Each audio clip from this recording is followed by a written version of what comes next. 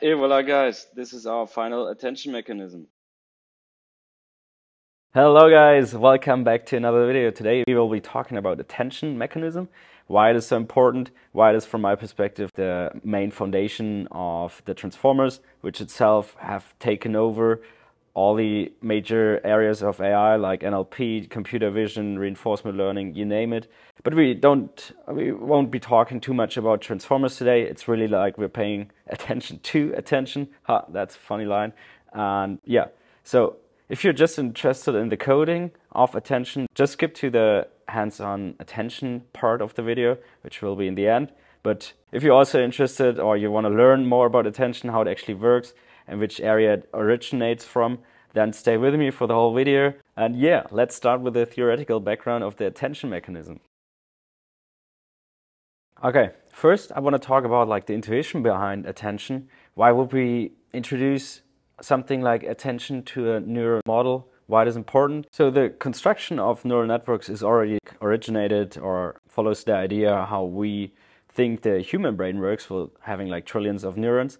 And the same happened with the attention, like paying attention to different things. Now we have so many information we gain at the same time, like our sight, hearing, tasting, or smelling, you know, and but we can't focus on all the information at all times. So we subconsciously, not always consciously, paying attention to different kind of information. So if you want to feel your heartbeat right now, you would more pay attention like basically to your to your body while if you were paying attention to all red things around you, you will be paying more attention to your visual information. And this is basically how we perceive the whole day. So we are just focusing on relevant information and neglecting not important information at that time, even though we're conceiving it. And this is what was tried to, to bring it to neural models. So we have a lot of information, but we are just paying attention to the most relevant one and not like all information available. Okay guys, I had to change my location, but that won't stop us from doing that video. And um, yeah, first attention was introduced to the area of machine translation.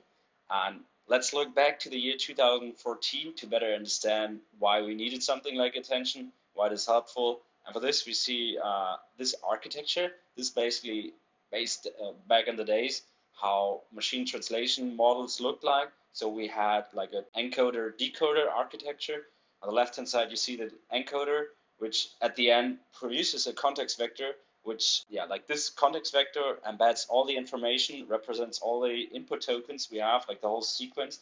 And it could be a short sentence, could also be a long sentence, but we always have to represent it or embed it into this fixed size context vector, and then it is transmitted or like passed to the decoder, which then decodes and translates that language. And as you can maybe imagine, it's hard to sentence varies, right? And we have shortened sentences, we have longer sentences, but we have to embed all of them in the same fixed size context vector, which was a huge like bottleneck for those networks. And we like um, we needed something else basically. Uh, this is when attention came into place.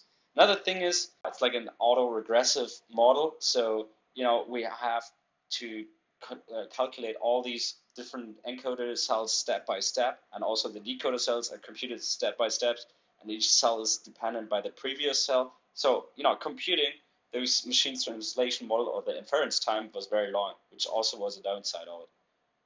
But the main issue were still the fixed size context vectors, because especially for long sequences, those models weren't performing really good. Translating was kind of, yeah, not the best.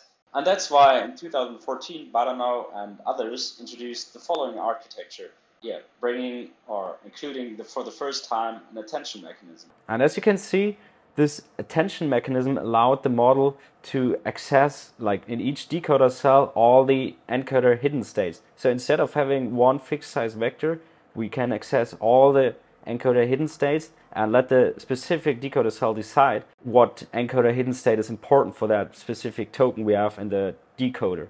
And this idea was basically then new and that's why it's called attention. Okay, so the idea of attention allows each decoder cell to access all the encoder hidden states at each time step and the decoder cell basically takes the state of the previous cell and can then query the relevance of all the encoder hidden states for that actually token that is to be translated at a specific time step. And yeah, that, that was pretty new that a specific decoder cell could access all the encoder hidden states. Okay, now we talked a lot about intuition and architecture wise, how attention works. Now let's look into the math to really understand how attention actually works like on the low level. For this, we calculate three different things. The alignment score, weights or attention weights, and a context vector. Don't get confused. It's not like uh, the context vector we had before, which is like a fixed size. Uh, like it's still fixed size, but now we're calculating a context vector for each decoder cell, while before we had one context vector for all decoder cells. So the alignment scores basically gives us information about how relevant a certain input token is to that particular word we would like to translate right now. Like let's say we we're in the decoder at position two and would like to translate that word. For that, we assess all the different input words uh, and calculate for each input token or input word uh, alignment score to assess how relevant that is to translate the uh, word right now. So most common, it's like the highest relevance is has the word that is translated right now. But for example, sometimes you know since grammar is different in different languages, the arrangement of words varies, and then we are in the second position and the decoder, but actually the word in the input uh, sentences at the position three, and then we would pay the highest relevance to that input word at position three. And Bahdanau and others use for that an alignment model, which can be a feed-forward model, and to basically calculate the score, how how how good a certain input word is matching that particular output or decoder word. So the attention score is defined as follows. We have our attention score, EIJ, a little bit hard to pronounce for me. And this is calculated by our attention model, which is like the A function. And um, we have our previous hidden or like previous decoder state, which is SI minus one. So we're basically now calculating the relevance for the decoder step I that's like why we have i minus 1 it's like the previous state. And then we're assessing all the hidden encoder states which are like hj so j is basically an indicator or an index for all the different uh, input words or input tokens we have. So as a next step, we will take all our alignment scores and basically compress them into a probability distribution. So all the alignment scores will then sum up to 1 and for this, we will use the softmax function, which leads to this definition you can see. Then our new indicator is AIJ, which uh, just states that now our alignment scores are yeah in a probability distribution. So, and as a last step, then we have our alignment scores, which are into like compressed into a probability distribution. So they sum up to one, and then we will calculate for each decoder step and context vector by using all of those alignment scores and multiplying them with a hidden encoder state. So the higher the alignment score is, the more of that particular hidden encoder state will be embodied in the context vector, which is then used for translating a particular word. Okay, now we have a good understanding how attention actually works, but that's not all. I guess you have heard about transformers and uh, maybe you're also watching this video to better understand transformers. And when Vaswani and others published their paper and published also the architecture of transformers, they also made a more generic definition of how attention works. They didn't uh, use like alignment scores, they brought into new three different words for it, which is a little bit more uh, related to the information retrieval area. So they have queries, keys, and values. And yeah, let's look into how those are different and why those are a more generic definition of attention than the one we saw before. Okay, before we look into the mathematical terms of the generic attention, uh, I want to first show you the architecture, how it looked like when the transformers got introduced. It changed a little bit. So as we can see, not only the decoder has an attention mechanism, but also the attention mechanism is applied to the encoder, which was new at that time. And also the recurrent neural network cells have been replaced by feed-forward neural networks. So uh, we don't have the autoregressive behavior anymore. So we can compute, or the inference time is way faster with this setup because we can parallelize uh, the computation of these individual cells. The transformer architecture brought two improvements, which is uh, the one th uh, thing is like the attention mechanism for sure, and the other thing would be the faster computation that was also allowed and possible then. The definition of our attention score has slightly changed. Instead of having previous decoded states, we now have a query vector, and instead of all the different hidden encoded states, we now have different key vectors.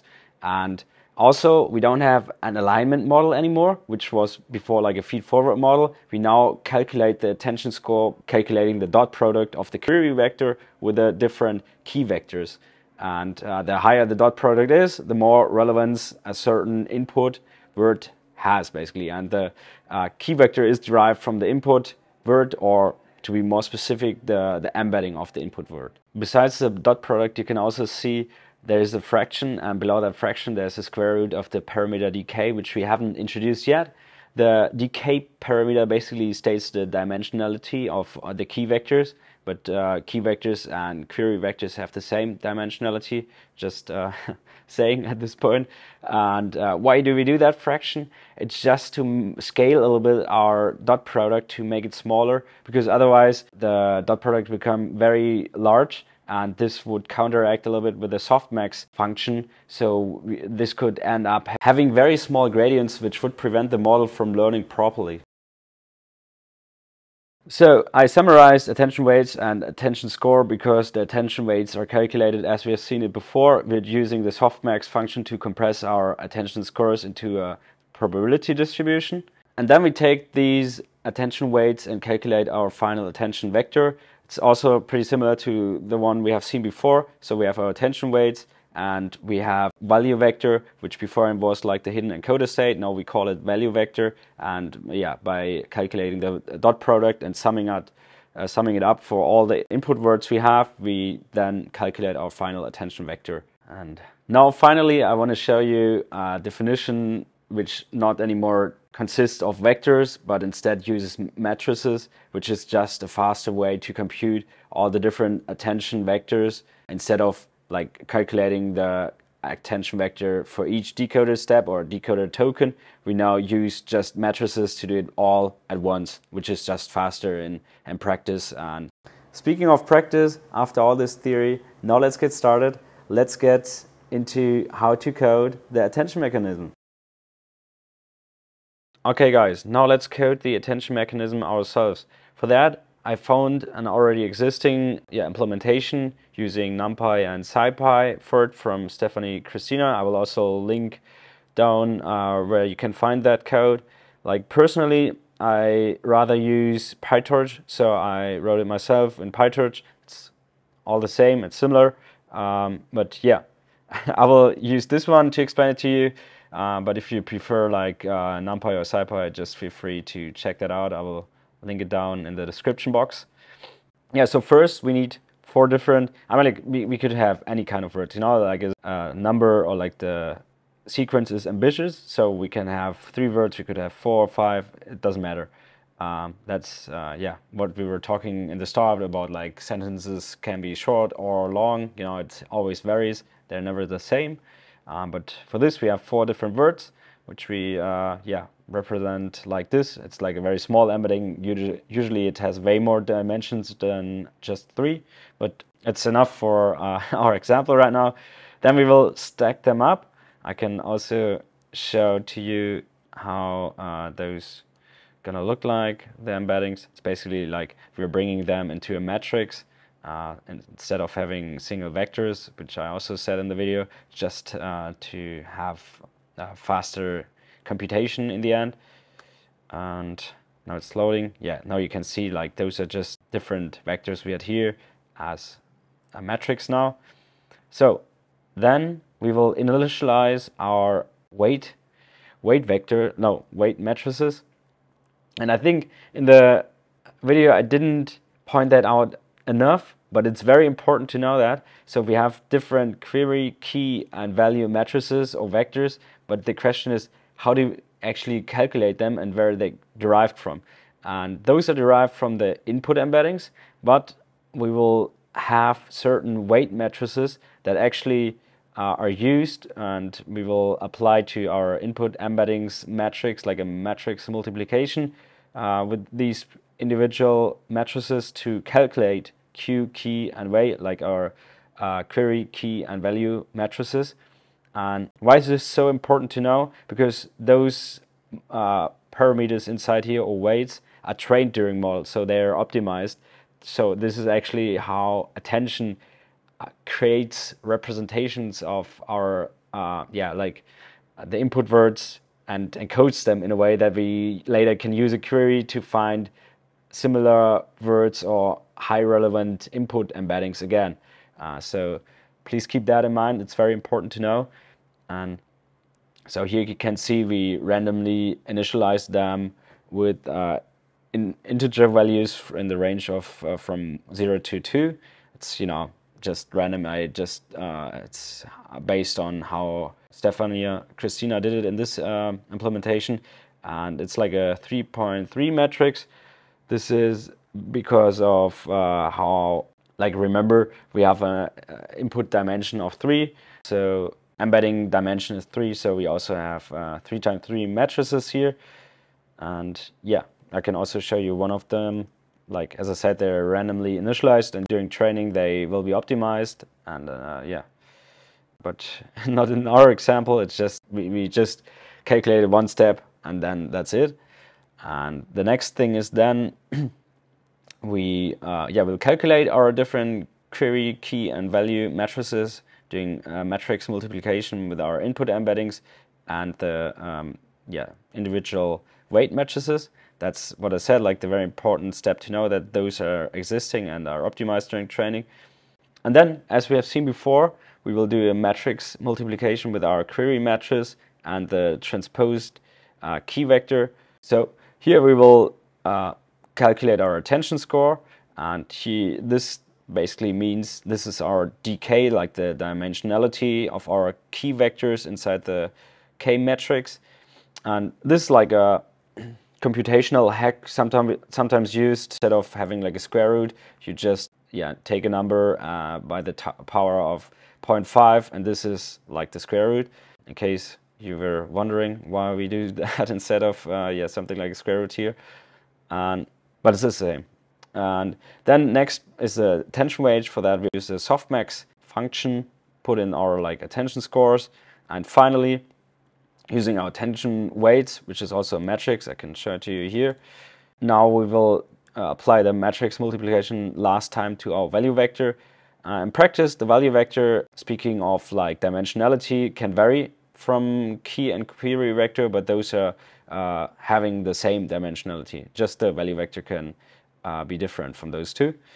And yeah, here you can see our final attention matrix. Uh, of course, you know, we didn't optimize our weights, so don't expect too much. What we can maybe see is like we pay a little bit higher attention to the third dimension or parameter in our input embeddings, but you know, this is very vague to talk about right now. Just an example how to code the attention mechanism, which in fact is quite easy to implement. And yeah, that's basically it. That's the uh, walkthrough uh, of the coding, and I hope you liked it yeah, that's it for my second video on YouTube. I hope you liked it. Please give it a thumbs up. Please subscribe to the channel if you liked the video and want to see more. Um, actually, I plan to do to be a little bit more practical because I feel like it ended up being very theoretical. Uh, my plan was to do a sentiment analysis using transformers to give you more practical view how transformers would work in that scenario. If you're interested in that, just comment below that you want a video about that. And until then, have a great time and cheers and peace out.